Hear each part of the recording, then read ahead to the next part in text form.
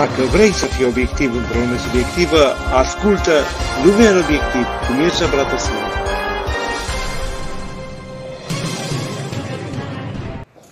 Aș vrea să evoc înaintea voastră rugăciunea uh, copilului unui misionar din Africa. El a trăit cu tatăl lui și când a văzut privațiunile și luptele și zbuciumul tatălui său, s-a întrebat, el copil fiind, de ce tata trăiește în condițiile acestea și primește de moarte asupra noastră în fiecare zi și animale și oameni răi și toată nenorocirea asta? Și ca o descoperire dumnezeiască, el a înțeles că tatăl lui îi iubea atât de mult pe africani. Și numai, numai faptul că iubea pe oamenii ăștia putea să explice prezența omului ăsta în așa de acolo. El nu a înțeles când era mic care este rostul acestei misiuni pe care o îndeplinea tatăl lui, dar a zis că sigur în oamenii ăștia e ceva, eu nu știu eu ce, dar știe tata, e ceva în oamenii ăștia care face pe tata să stea să înfrunte moartea, ziua și noaptea și să trăim cu E ceva în oamenii ăștia atât de prețios. Și a început să-i vadă prin ochii tatălui său și într-o noapte, pe când punea el efortul tot mai mari să vorbească cum vorbeau ei și să facă toate gesturile cum le făcea ei, încerca și el să cânte, dar vocea lui nu era ca lor, dar el încerca, făcea tot posibil. Și într-o noapte a venit el la rugăciune și a zis, Tatăl nostru din ceruri, te rog ceva în noaptea asta. Da, până dimineață, te rog eu pe tine, fă-mă și pe mine un negru. Oricât aș încerca eu să fiu ca ei, nu pot, dar tu poți să mă faci. Știu că poți. Sigur poți. Nu există să nu poți să fac lucrul acesta. S-a trezit dimineața, nene, tot așa cum era ea. În orice caz, pensiunea aceea sfântă pe care a trăit-o la rugăciune l-a însoțit întreaga lui viață. Și rugăciunea lui mă inspiră în seara aceasta să vă spun, iubiților, că vă prețuiesc și sunt atât de fericit că sunt aici și dacă mi-ar fi dat Dumnezeu să aleg din multe locuri și mi-a dat libertatea să spun unde, aș fi dorit să fiu aici cu voi și Bunul Dumnezeu mi-a împlinit această dorință a sufletului. Vă mulțumesc deci că sunteți prezenți și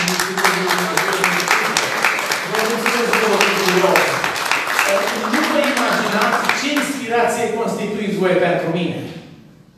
De, de 40 de ani sunt între oameni și încerc să îndrept ochii spre Dumnezeu.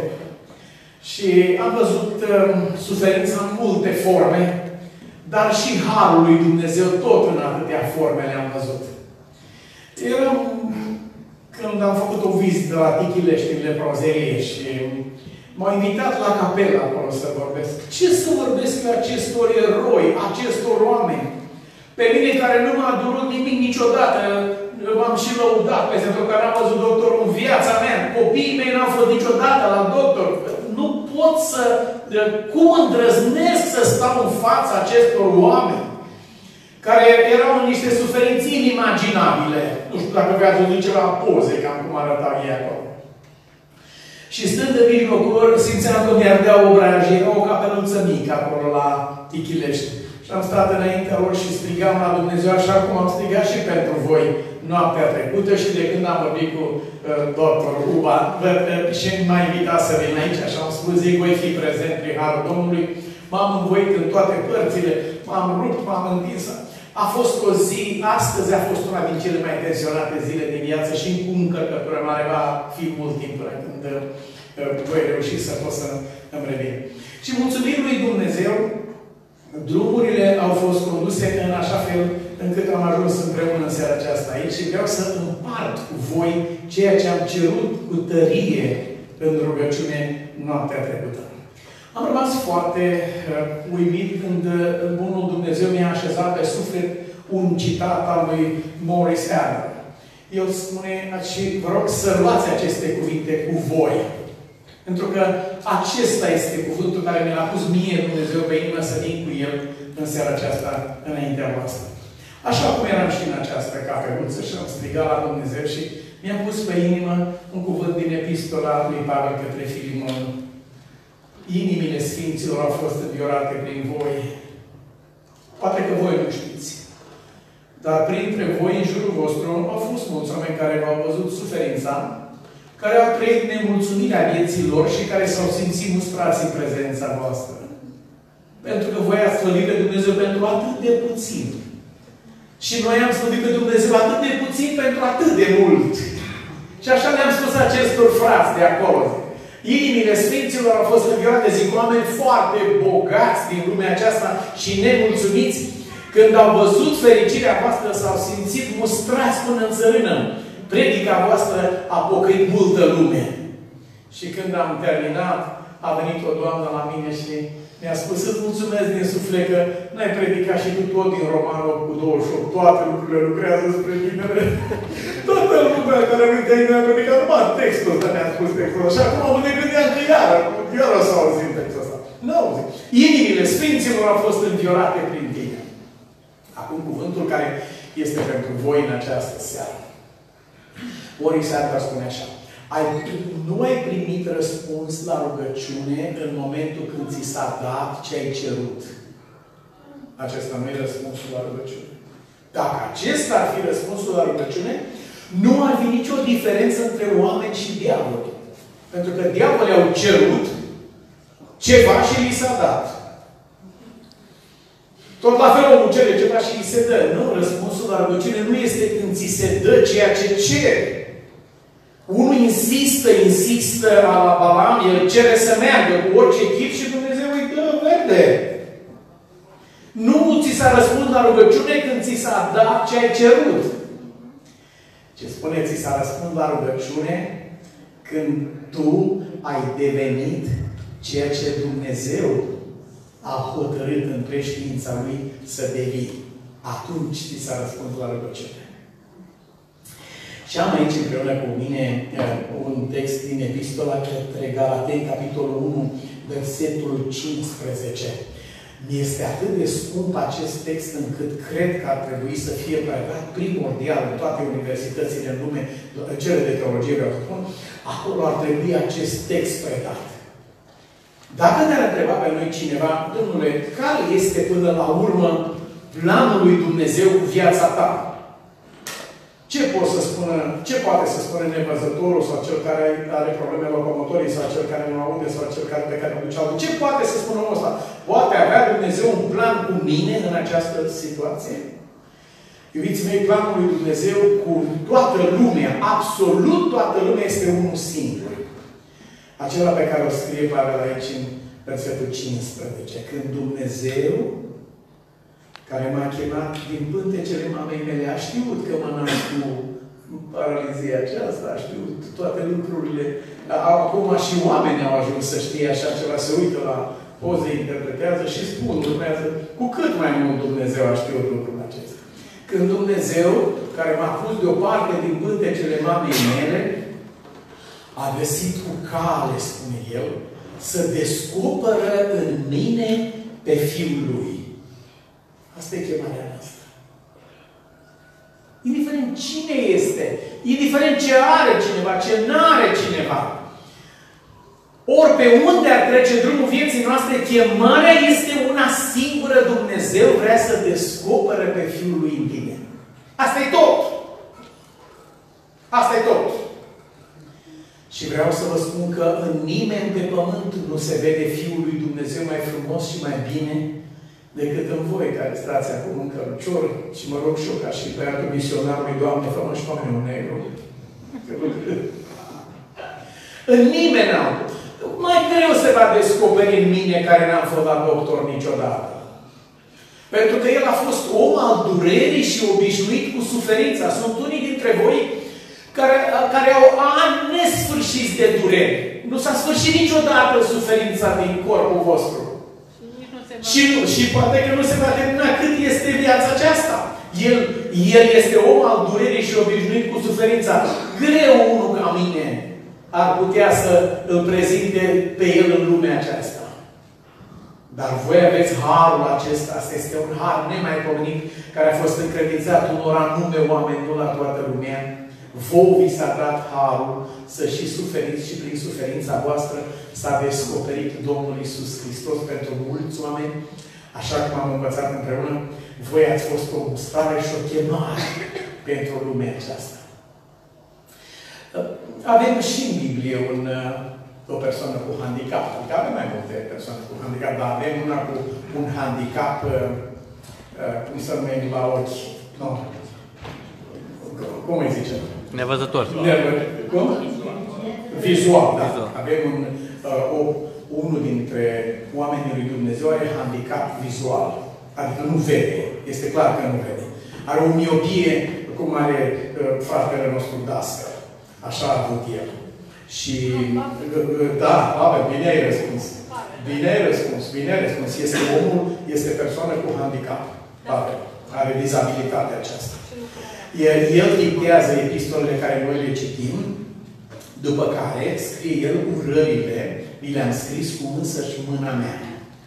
Uitați-vă, spune el, cu ce slove sau litere mari v-am scris. Că el nu vedea lucrurile. Omul acesta, prin care Dumnezeu a urzit viața pe planeta asta, ce vedeți acum pe planetă, ceea ce noi numim democrație, progres, știință, tot ce se vede astăzi pe pământ, este urzit pe țesătura omului acestuia și epistolele omului acestuia stau la temelia societății azi. În lume. Omul ăsta, care s-a rugat pentru cel mort și s-a ridicat de acolo, omul acesta care s-a rugat pentru tatălui public și s-a făcut sănătos, omul acesta prin care Dumnezeu a făcut așa mari minuni și a descoperit noaptea, i-a spus amiralului care conducea vaporul, corabia în timpul aceea că trebuie să dăm peste o insulă. Omul ăsta nu vedea nimic, dar i-a fost descoperit. Dumnezeu al căruia sunt eu, mi s-a arătat în noaptea trecută și mi-a spus nu te teme de nimic, vei scăpa cu viață și îți voi da pe toți care sunt cu tine aici în corabie. N-ai nicio teamă. Deci trebuie să dăm peste o insulă, spune el. Dar cine putea să spună asta după uh, trei săptămâni de, de nenorocire care au trăit de acolo, decât cineva uh, care a spus Dumnezeu al căruia sunt eu. Și el spune cu privire la, la dizabilitatea lui. De trei ori l-am rugat pe Dumnezeu să-mi ia lucrul ăsta dacă se poate. Ce ar fi pentru Domnul greu?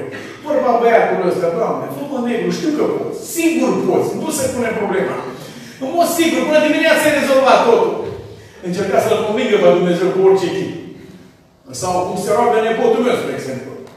Nepotul are trei ani și rugăciunile lui sunt de natura asta. El îi spune toată lista care trebuie ajută-ne să fim buni, dă-ne mâncare, și încheie rugăciunea.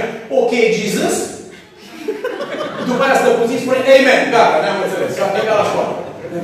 Așa se încheie rugăciunea. Și spune una din fiicele mele, i-a spus într-o zi, Jason, Iisus te iubește. Te-a sunat la telefon?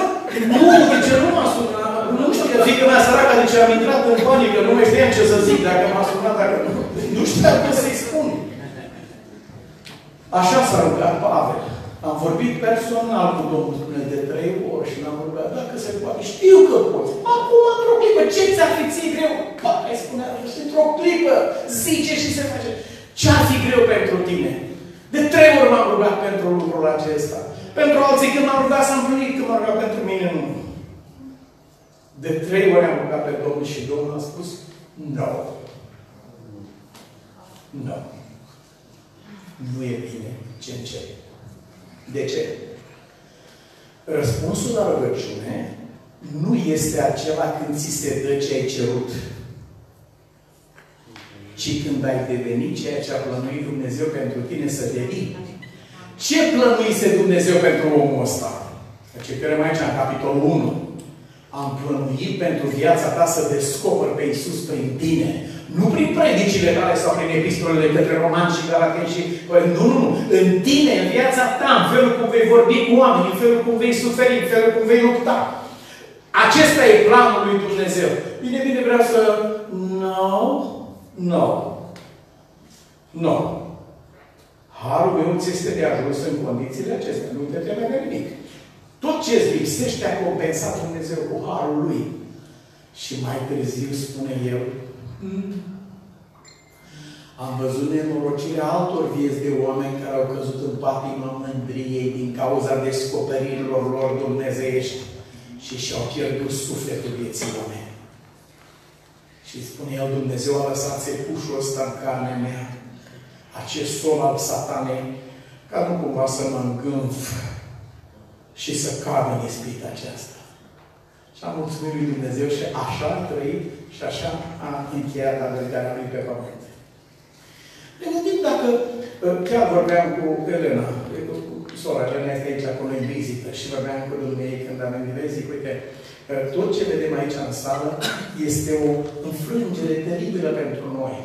Unde e vremea aceea când Petru i-a spus ologului în numele lui Isus ridică-te? Simplu. Unde e vremea aia când Iisus l-a uns la și i-a spus, du-te și spală de la scăldătoare și s-a întors văzând? Unde e vremea aceea? Hmm? M-am pocăit de întrebările astea. Vremea aceasta e vremea credinței. M-am pocăit de întrebările acestea de une zi, Aurică. Da. Acum noi ne cunoaștem cu Aurel din prima, prima, prima lui tinerețe. Și asta e a doua. Și uh, m-am pocăit de lucrul ăsta și vreau să vă întreb pe voi ceva. Dacă Fiul lui Dumnezeu ar intra în această seară, este aici prezent cu fără discuție. Dar dacă s-ar face vizibil nou. Ce credeți voi că s-ar întâmpla cu toate aceste cărucioare sau toate dizabilitățile care sunt aici? Ce s-ar întâmpla în seara aceasta dacă Isus s-ar prezenta vizibil înaintea noastră și ar acționa aici? Ce s-ar întâmpla? Sigur? Eu știu altceva. Știu altceva. Ce știi altceva? Se vede chipul lui Dumnezeu va muri. Mm-hmm. Eu știu asta. Știu bine. Ei, Nu uite, suntem uh, atât de uh, vrednici și de curați cu inima cât să vedem pe Dumnezeu. Da. Nu suntem. Nu. Uite, el, el se descoperă nou acest fel de oameni și ne face să vedem în ceea ce ne se întâmplă în viața chipului lui Dumnezeu. Vreau să vă spun ceva dureros, ceva surprinzător. Presupunem că aici se numește Bethesda. Și Fiul lui Dumnezeu, Iisus, în loc să ducă sâmbătă la biserică, cum ar fi trebuit, sau la templu, a venit aici, la voi. Pentru că a auzit la stupii și este aici, la voi. Bethesda se numește aici. Ce se poate întâmpla? Care este un scenariu dintre toate care pot să aibă loc? Ce se poate întâmpla? Ar putea să vină aici Iisus și ar putea să se ducă la unul dintre voi, cu acela să stea de vorbă, și omul acesta să-i dea un picior la căruciorul lui și să se întoarcă și să se uite către voi toți. Ce s-ar întâmpla cu ceilalți oameni?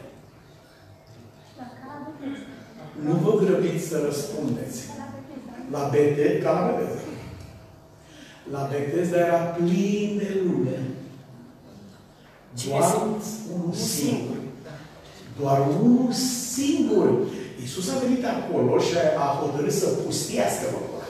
Locul ăla trebuia să rămână pustin. Toată lumea de acolo avea șansa aceasta și el l-a vindecat pe omul ăsta ca un exemplu pentru toți ceilalți. Oricine spunea cum, oricine putea spune cu mine cum rămâne. Adică am această șansă. Clar, Doamne, trebuie să stai de vorbă și cu mine. Bă, Uite care este situația. Nici măcar unul din toată lumea n-a scos o vorbă cum nu vorbește peștele. Am auzit peștele miercăindu-se cu peștele, dar nu, uh, uh, uh, nimeni de acolo n-a scos o vorbă. Absolut nimeni. Și era o șansă oferită tuturor. Eu mă rog în seara aceasta ca tu să fii omul acela. Tu să fii omul acela cu care să poată sta de vorbă Fiul lui Dumnezeu. Credința în Dumnezeu nu înseamnă rezolvarea sau nerezolvarea unei probleme, ci înseamnă împlinirea planului lui Dumnezeu cu viața ta, prin care Isus să se descopere, să se arate lumii într-un anume aspect al vieții tale. Astăzi vă spuneam că a fost una din cele mai grele zile din viața mea. Atât de grele emoții am pe suflet, încerc să mă stăpânesc.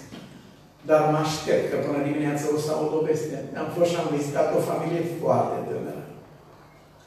Am avut harul să fiu prezent la căsătoria dumnealor în urmă cu trei ani și acum cinci săptămâni, fix cinci săptămâni, o tuse banală L-au chemat la Sibiu și i-a spus, domnule, ești plin de cancer din creștere în tăbi. Plămânii sunt plini, ficatul, stomacul, tot, peste tot, absolut tot, în stadiul terminal. Grăbește-te să ajungi acasă. Și din acest băiat, care era un domn și un prinț, astăzi am mai văzut o umbră teribil de galbenă. Ochii galbeni, galbeni, galbeni. Acest, a, a, figura aceasta, chipul acesta era pentru mama lui care a venit acolo o tortură sufletească de neimaginat și mama aceea fi vrut mult să fie în locul lui astăzi. Poate până în seara asta, până la noapte, până mâine, o să primim o veste. Am vorbit așa de frumos și de lucid. Și m-a chemat personal să fiu lângă el, că a spus, vreau să închei drumul vieții acolo unde a început.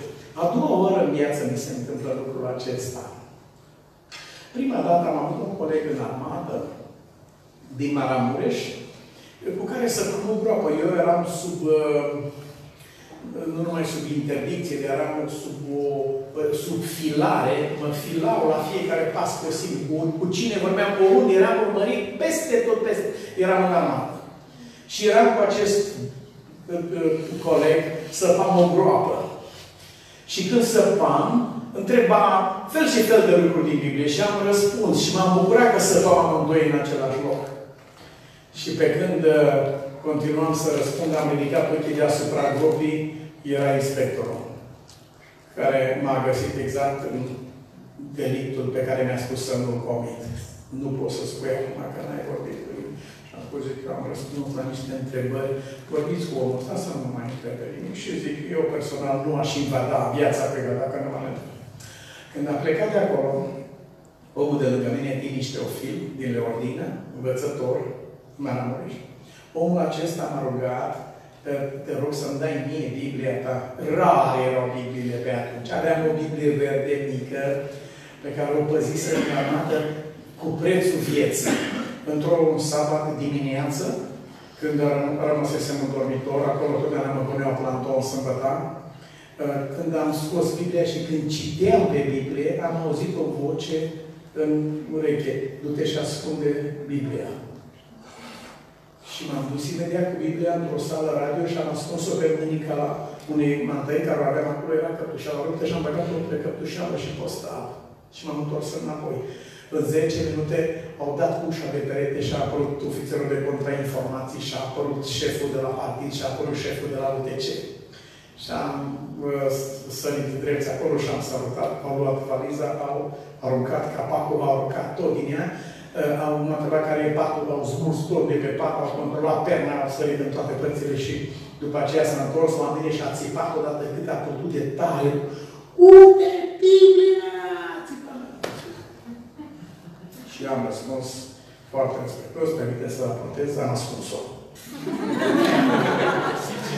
să vă nu nimeni de să vă Și am spus, uh, capitan sau vă rog să mă luați pe mine. Biblia o să mă Cu câteva zile înainte au ars Biblia unui băiat pentecostal care a făcut imprudența să o ducă, i-au cerut-o, i-a dat-o și a aruncat-o drept pe foc. Și au ars Biblia. Am știut lucrul acesta. Și am ascuns Biblia. Această Biblie a supraviețuit și pe această, această Biblie a fost cerută de acest băiat, de acest, și am dat-o lui. Am ca și când s-a din viața mea. A trecut foarte mult. 25 de ani, poate, a trecut de atunci. Și într-o zi, când am trimis o evangelizare pe satelit aici în România, uh, dumnealui m-a recunoscut pe ecran, a luat telefonul, m-a sunat și în clipa, deci imaginați-vă când n-ai auzit pe cineva de 25 de ani, în clipa când a spus primele silabe, am știut că este Timiș Teofil. Într-o fracțiune de secundă. Și el spune, îți mai amintești de mine? Zic, foarte bine mi aminte, sigur. Și am spus, uite, ca să fii sigur. Din armată eu nu țin minte nicio serie de armă decât pe a ta. Tu ai avut o armă cu seria BL5002, e adevărat? Când a auzit numărul ăsta pe care îl știa și a dat seama într-adevăr că am vorbit la telefon, nu știam cât este de volum, Am încheiat lucrarea în România, m-am întors în America. Seara, a doua zi dimineața, foarte devreme, am primit telefon de la el. Vino repede în țară. Zic, acum am ajuns. Vino repede. Nu mi-a fi ce. Cum să mă întorc în țară? Ce să fac? Zic, nu am bani de loc. Uh, imediat facem o chetă la unitate militară să nu numai să faci lucrul ăsta. Zic, ai răbdare, trebuie să se întâmple altceva. Și probabil că la 6 dimineața am vorbit, la 9 dimineața a bătut în ușa, în ușa noastră un corean, un doctor, a bătut în ușa noastră și a spus, Nicu, uite, eu merg într-o misiune medicală la Alexandria. Și a spus așa, dacă tu mergi cu mine și mergi pe scenă acolo și le spui la oameni, help this man, ajutați-l pe omul ăsta, atâta vreau să faci. Nu mă cunoaște nimeni acolo, pe tine te cunoaște. Merge cu, mergi cu mine acolo și spui cuvintele astea și din clipa aia ești liber. Și am spus, amin. Am, uh, mi-a cumpărat biletul la avion, am venit la Alexandria, am zis, help this man, ajutați pe omul ăsta și noaptea am plecat la Maramureș, la Teofil. Și când am ajuns lângă el, cancerul îi scosese ochiul afară din Era un cancer la creier. Îi scosese ochiul afară. De mai multe ori a suferit operații peste operații. Acum era în afara posibilității de operație. Și era atât de bun la suflet și de urând și mă mângâia și am stat lângă el și a spus, ce știu de ce te-am chemat? Nu. Deci am vrut să sfârșesc drumul vieții acolo unde am început. N-am înțeles fraza asta la început. Și m-a văzut că sunt așa ca semn întrebări și zice, știi unde a început viața mea? Nu. În groapa aia când mi-ai dat Biblia cea verde, atunci am început să trăiesc. Lângă tine, în clipa aia. Și de-aia te-am chemat în America. Acum vreau să închei tot așa. Și împreună am servit ceva foarte ușor de mâncat, așa cum am servit și astăzi prietenul nostru iubit. Și ne-am rugat împreună și nu am ajuns departe când Dumnezeu a încetat din viață. Aș vrea să închei viața acolo unde a început viața. Viața noastră a tuturor a început în momentul în care am cunoscut pe Dumnezeu. Și nu doar când am auzit despre El, ci când Domnul a devenit regele și stăpânul inimii noastre, bucuria noastră și dragostea noastră și motivul de a trăi. El este acela Pavel Apostolul care mi-a spus de trei ori m-am rugat și Dumnezeu a spus, nu, harul meu ți este de ajuns.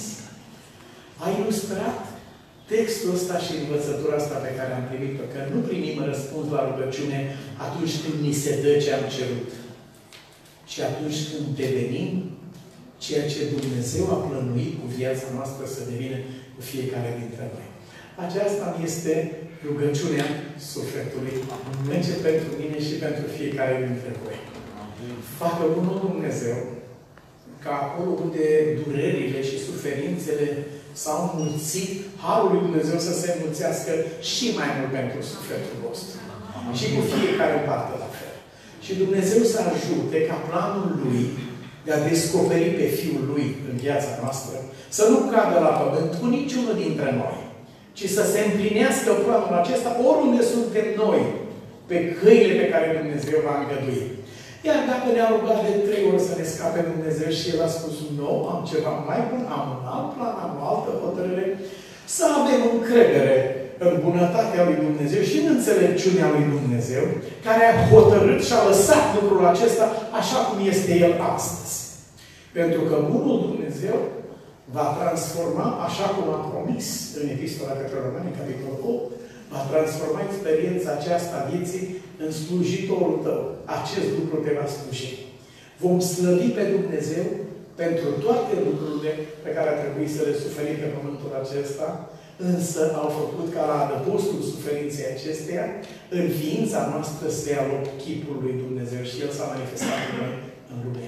Dumnezeu să ajute, iubiților, ca în casele voastre și între prieteni și oriunde sunteți, cineva să vadă purtarea voastră și să spună, numai Dumnezeu din cer ar fi putut să facă așa ceva în viața acestui om.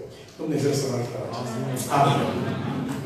Nu contează ce simți în fiecare zi. Contează să vezi momentele subiective într-o lumină obiectivă. Lumea în obiectiv cu Mircea Bratosin.